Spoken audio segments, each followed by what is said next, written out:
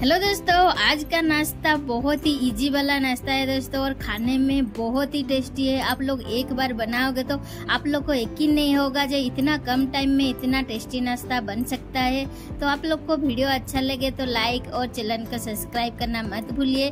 तो चलिए अभी रेसिपी को देख लेते हैं। तो देखिए, दो उबाला आलू को मैं ग्रेट करके रख लिया था। तो अभी इसको हम बाउल में डाल देते हैं आलू को।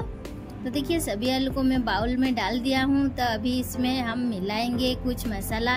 तो देखिए, एक प्याज को हम इस तरह छोटा छोटा काट लिए हैं। इसको डाल देते हैं। तो देखिए, एक चम्मच जितना कुटी हुई लाल मिर्च। देखिए, एक चम्मच चाट मसाला। चाट मसाला नहीं हो तो आमचूर पाउडर डाल सकते हैं। थोड़ा सा गरम मसाला और एक चुटकी जितना हल्दी पाउडर। अभी देखिए, थोड़ा सा मैं अजवाइन लिया हूँ। अजवाइन का स्वाद इस नाश्ता में बहुत ही टेस्टी आता है। और थोड़ा सा बारीक कटा हुआ कड़ी पत्ता आपके पास धनिया पत्ता हो तो वो भी डाल सकते हैं। तो देखिए, एक कटोरी ब्रेड का पाउडर को हम इसमें डाल रहे हैं। पाउडर को, ब्रेड को पीस लिए हैं और उसका पाउडर बना लिए हैं। तो और दो चम्मच इसमें डाल रहे हैं कॉर्नफ्लोर और स्वाद के हिसाब से नमक। बस अभी क्या करेंगे, हाथों के सहायता से अच्छी तरह हम इसको मिलाएँगे। क्योंकि हाथों में ही अच्छी तरह मिलाना होगा।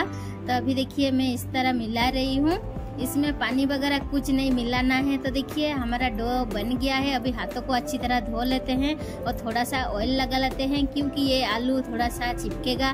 तो देखिए ऑयल को हम लगा लिए हैं। अभी थोड़ा सा पसंद ले लेते हैं इस तरह और इस तरह पहले हम बॉल बना लेते हैं। तो देखिए इस तरह मैं बॉल बना लिया हूँ। अभी हम इसको दबा के हम पतला वाला एक टिकिया जैसा बना लेते हैं। तो देखिए, इस तरह हम थोड़ा सा पतला इसको बना लेते हैं। तो इस तरह हम पतला पतला टिकिया सभी का, सभी बना लेते हैं दोस्तों।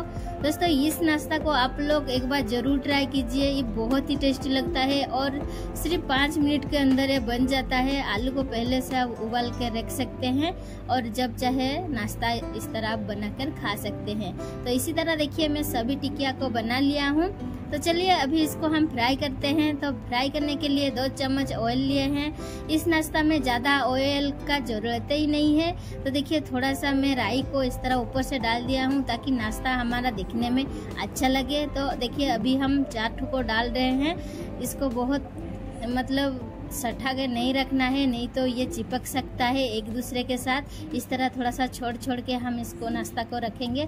तो देखिए, एक तरफ़ थोड़ा सा फ्राई हो गया है तो अभी हम इसको पलटा लेते हैं। आप लोग देख के पता कर सकते हैं दोस्तों, इसका कलर कितना सुंदर आया है। तो देखिए, इस तरह हम उलट पलट करके नाश्ता को क्रिस्पी होने तक फ्राई कर लेते हैं। तो देखिए, फिर से हम दूसरे साइड को भी पलटा लेते हैं। तो इस तरह देखिए, दूसरे साइड को भी हम पलटा लिए हैं।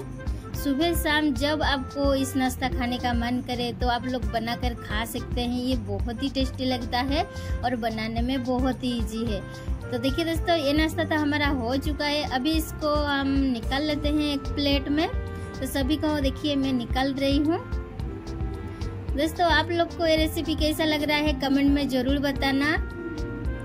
तो इसी तरह देखिए, सभी को मैं प्लेट में निकाल लिया हूँ। तो अभी क्या करते हैं, और चाटो हमारा आलू का टिक्किया है तो उसको भी हम इसी तरह फ्राई कर लेंगे। तो देखिए दोस्तों, मैं दोबारा इसमें ऑयल नहीं डाला हूँ। जितना ऑयल कढ़ाई में है, उतना ऑयल में हम इस नाश्ता को फ्राई करेंगे। तो दो चम्मच ऑयल सिर्फ़ लगा है इस नाश्ता को फ्राई करने में। बहुत कम तेल से हम इस नाश्ता को बनाए हैं। तो देखिए, इस तरह हम इसको भी उलट पलट करके फ्राई कर लेते हैं। बहुत ही जल्दी ये नाश्ता बन जाता है। देखिए, फ्राई होने में ज़्यादा टाइम नहीं लगता है। तो ए भी हो गया है तो अभी इसको भी हम निकाल लेते हैं। तो है ना दोस्तों, कितना इजी वाला ये नाश्ता और बहुत ही ज़बरदस्त टेस्ट वाला। छोटे हो या बड़े, सबको इस नाश्ता बहुत पसंद आएगा दोस्तों और बच्चे को टिफ़िन में भी इस तरह नाश्ता आप लोग दे सकते हैं। तो देखिए, मैं एक नाश्ता आप लोग को तोड़ के भी दिखा रही हूँ। देखिए, ये सच में बहुत ही टेस्टी है और देखने में भी तो बहुत ही सुंदर है।